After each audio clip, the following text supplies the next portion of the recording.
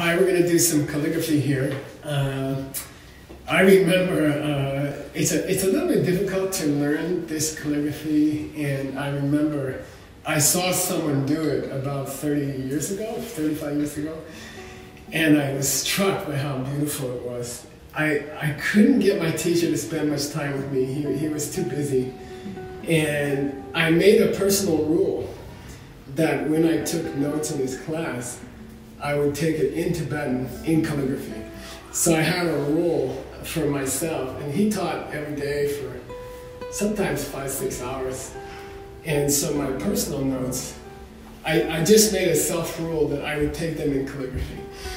And, uh, and it worked. And, uh, you know, I go back and look at the early notebooks, and they look like some kid's handwriting.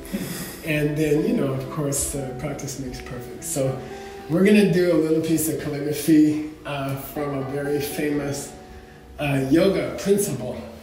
Uh, because YSI is one of the 11 organizations that will be receiving free rent money from the endowment, uh, from this uh, Castle Rock endowment here.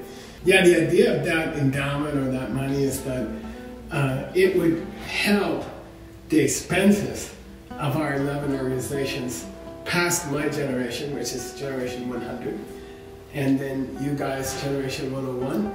And then, you know, I'm thinking uh, this, this uh, things that we're teaching have been going on for 100 generations. I'm, I am literally 100, and you guys are 101. And the idea is to make the generation 100 and the generation 101, we just try to work extra hard, a little bit extra hard.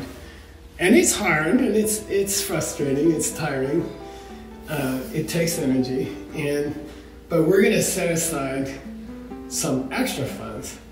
And then from that, uh, this business will create money. It's a very safe business. And uh, it's not going to, the place has been booked up for many years. There's a waiting list for many years. That business, which is right behind the college, so that if we need to expand the college later, we also have land. Uh, we'll just tear down some of the rent, some of the, those rooms and make a place. So, you know, it looks like this will provide a steady income for people after we're gone. Uh, and then that will help those organizations to keep going. This calligraphy is for the purpose of fundraising. And we're going to calligraph a very special idea called Say Lung. Lung. Sem. Sem. Jukpa. Jukpa. Jipa. Chicha. And it's very famous and it's very appropriate to put onto a piece of calligraphy. A lung means prana, the inner wind. Sem, the mind. Jukpa Chikpa means they ride in tandem, like a horse and a horse rider. And the idea is sometimes you can calm your mind down by calming down your body in yoga. And then sometimes you're not feeling well in your body and you can control the prana with your mind and fix your body. So the relationship goes back and forth. And if you become a master of that, uh, you can stay healthy mentally and physically. So this is a statement about the interconnection of mind and body, okay? Which yoga helps address. So here we go. We're gonna do Lung Sem Jukpa Chikpa.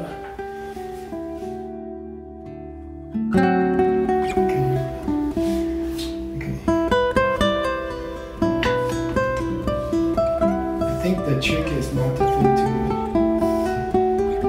Just-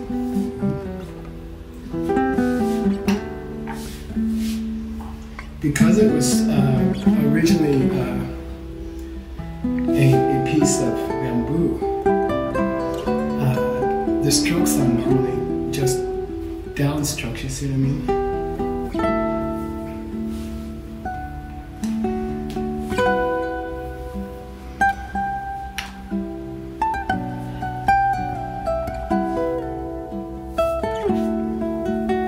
Huh?